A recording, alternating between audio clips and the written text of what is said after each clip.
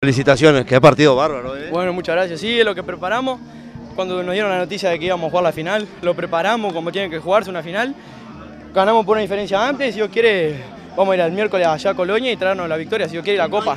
No hay goles de diferencia, pero sí ganar el partido y ganarlo de local y con tanta amplitud, eso motiva también. Obvio que motiva una diferencia amplia, y más acá en Florida con toda esta gente que siempre está a todos lados.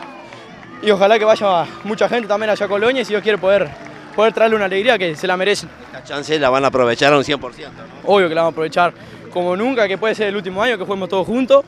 Y qué más lindo que pedirla con, con, la, con la Copa del Sur. Ganando 3 a 0 de local en el estadio, todo se da redondo. ¿eh? Todo redondo, la verdad. Ahora para que para cerrar el año completito nos vamos a llevar a Colonia a preparar el partido y, como te dije, traer la Copa si Dios quiere.